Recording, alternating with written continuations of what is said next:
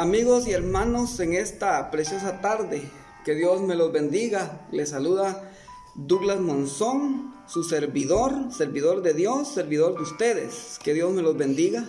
Meditaba en el tema de la parábola de los talentos allá en el libro de San Mateo capítulo 25 y versículo 15 y 18. Literalmente la palabra de Dios dice así. A uno de sus siervos dio cinco talentos, cinco talentos.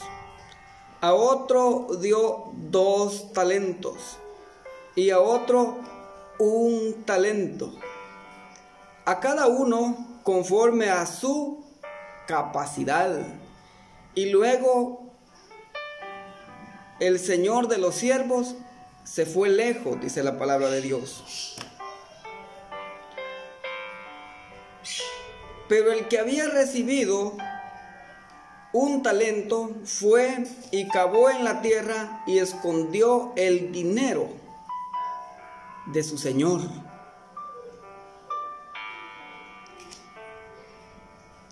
Cuando el señor de los siervos de la parábola regresa luego después de mucho tiempo, los tres siervos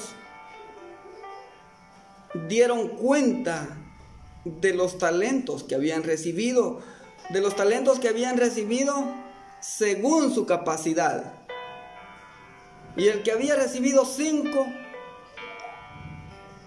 entregó cuentas ante su Señor y entregó diez talentos.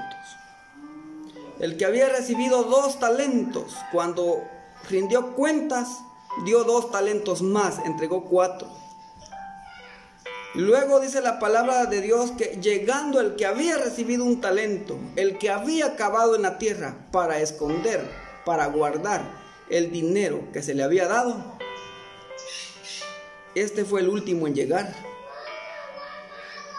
Llegó y como dice en el versículo 24, pero llegando este, dijo a su Señor, te conocía que eres duro, que ciegas donde no sembraste y que recoges donde no esparciste. Por lo cual tuve miedo. Fui y escondí tu talento en la tierra. Aquí tienes lo que es tuyo. Y yo meditaba y le, y le preguntaba a Dios, ¿Por qué tan grande el castigo para el que entregó un talento, Señor mi Dios? Y Dios me daba el entendimiento siguiente. Es que no lo castigué yo por haberme dado el talento que yo le di.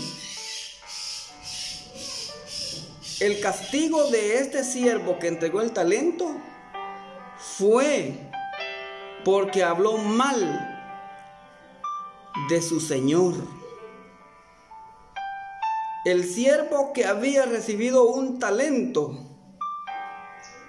tenía un mal concepto de su Señor.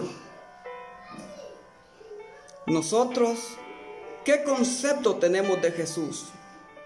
Pero cualquiera que sea el concepto que tengamos de Jesús, si es malo, reservémonos reservémonos esa información. Y peor si se lo vamos a decir a él. Porque el castigo de el siervo que recibió un talento no fue por haber entregado el talento, fue por haber acusado mal a su señor. Te conocía que eres duro, o sea, severo ciega donde no sembraste. Ladrón, recoge donde no esparciste. Hurtador, injusto, malo. El castigo de el siervo que recibió un talento fue por haber utilizado mal su boca, De la abundancia del corazón habla nuestra boca.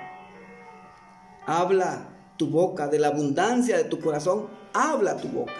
Habla mi boca. Por nuestras palabras voy a ser justificado. Por tus palabras vas a ser justificado. Y por mis palabras voy a ser condenado individualmente. Y por tus palabras vas a ser condenado. Aquel señor era un hombre sabio. A los tres les dio conforme a su capacidad. Dos negociaron y uno decidió enterrar el talento.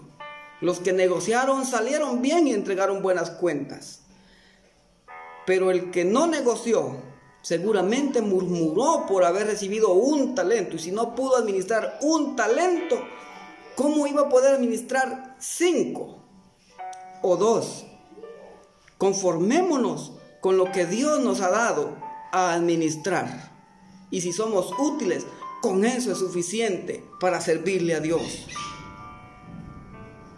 El siervo de la parábola va a venir con sus santos ángeles. El siervo de la parábola, seguro estoy que es Jesús y él va a venir con sus santos ángeles en su gloria para llevar a su iglesia. Seamos parte de esa iglesia santa y pura que Jesús espera encontrar cuando Él venga.